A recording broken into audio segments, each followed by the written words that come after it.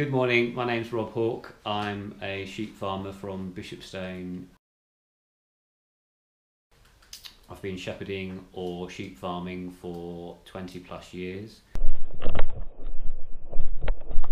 Most people don't realise that all dogs have the instinct and ability to chase and worry sheep.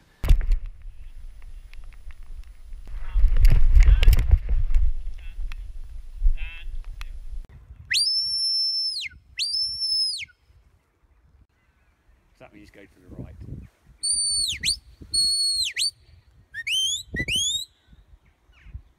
When my dogs are working the sheep, it's in a controlled manner and I can understand the reaction of sheep to the dogs.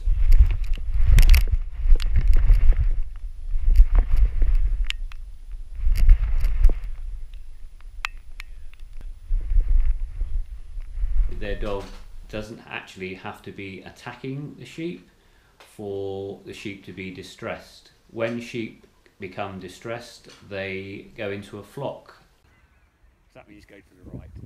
When we're lambing and when sheep are pregnant, the running and gathering into a flock, if it's in an uncontrolled manner, this can cause great distress to the sheep and the sheep could abort and we could have a lot of dead lambs.